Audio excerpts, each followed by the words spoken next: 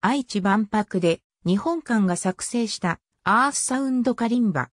棒の途中の金属の管が触りの役割をする。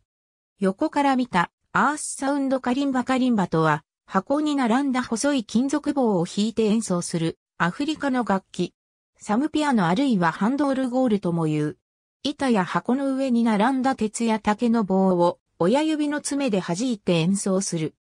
形状も作る人によって様々で、並んでいる棒の数すら決まっていない。棒の部分に金属片が付けられたり、箱に瓶の蓋等が付けられたりして、振るだけでも鳴るものもある。古くは貝殻が多く使用されていた。学術的にはラメラフォンの一種と分類されている。オルゴールのルーツとも言われている。アフリカジンバブエに住むショナ族古来の民族楽器である。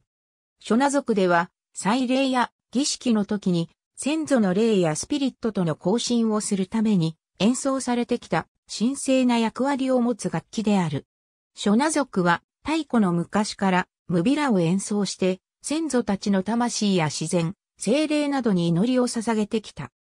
彼らは雨を降らすためや病気を治すためや冠婚葬祭の時、ムビラを弾いて祈りを捧げていたとされる。楽器のルーツは3000年ほど前に遡り、最初は竹を用いて作られていた。現在の金属製のものについては、1300年ほど前には存在していたことが確認されている。ちなみに、ショナ族はジンバブエの人口の82%を占めている。作物の不出来や何か悪いことが起こると先祖に対していけないことをしたという解釈をして先祖にアドバイスを受けるために儀式を行う。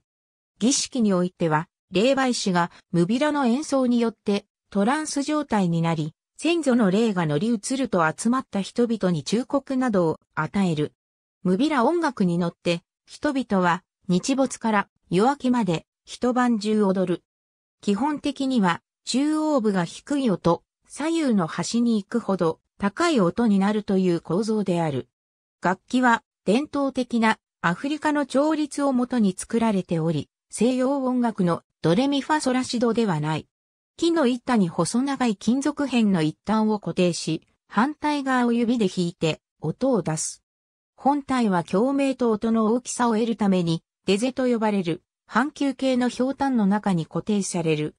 デゼ、あるいは木の板には金属片が可動状態で取り付けられ、楽器の振動によりジージーと音を出す。小型の楽器のため、音を増幅するために、デゼ、デゼと呼ばれる、氷炭を使うなど、演奏の工夫もされている。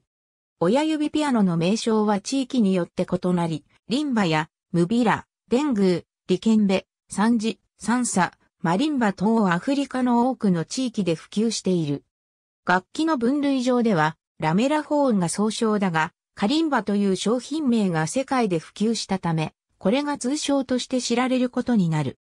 カリンバは、アースウィンドファイヤーのモーリス・ホワイトが愛用している楽器でもあり、彼のプレイで世界的に知られることになる。